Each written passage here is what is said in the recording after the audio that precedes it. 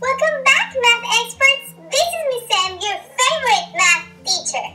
On this video, we will sort 2D shapes based on the absence or presence of lines and angles. Where do we start? You know where. Let's find the keywords. Awesome! Let's read it together. Jillian sorted polygons into groups. Okay, polygons, you know that poly means many into groups, so she sorted them, which means like classify, put in groups. The polygons shown belong in the same group. Okay, so we have all these polygons, and it says which description best represents this group? A. Polygons with perpendicular and parallel lines. Okay, let's see. Perpendicular lines. What are perpendicular lines? Remember? Perpendicular lines create 90 degree angles. So we have to find if these shapes have perpendicular and parallel lines. Let's see. Remember the trick that I used in another video?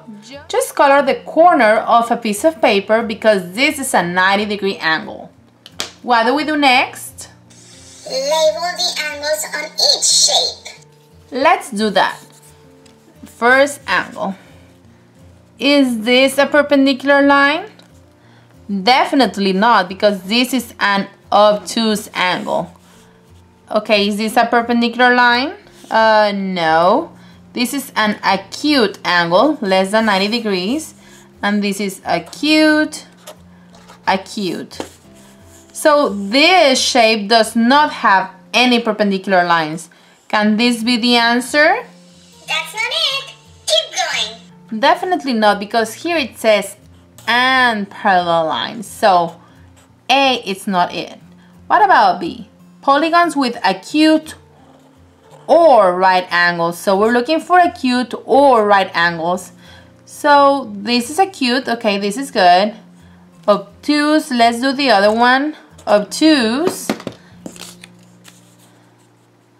Definitely obtuse, rotate the paper, vertex with vertex, line with line, obtuse angle, rotate the paper, vertex with vertex, one line with one line, definitely obtuse angle. So this shape does not have an acute nor a right angle. So does this mean this could be the answer?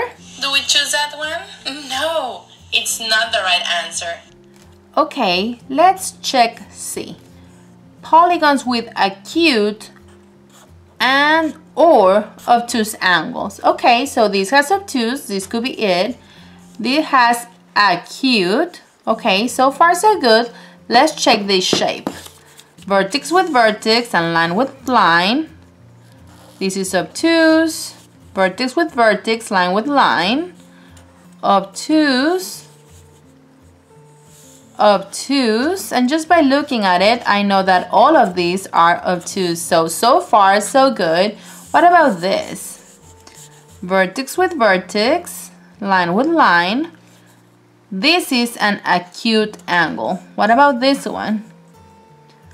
Obtuse greater than 90 degrees. What is this? A right angle. What is this obtuse angle.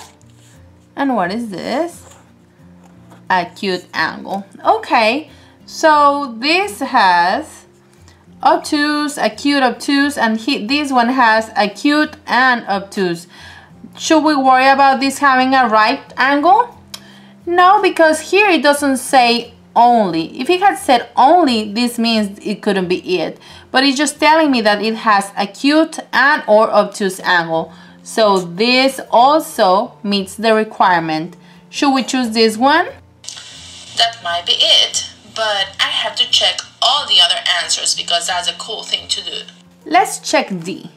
It says polygons with obtuse angles only. Okay. Does this one obtuse angles only? Yes. Does this one has obtuse angles only? Definitely not. So is this the right answer? This looks hairy. I think it's not the right answer. Okay, so yes, C is the correct answer. We did We did it! I'm so proud of you. We solved the problem in less than five minutes. Who knew math was so lovely? Slap that like button, smash that like button, subscribe, leave your comments now now! Today's shout out goes to Victoria Ojeda. She is like a flower in the garden of learning. Until next time!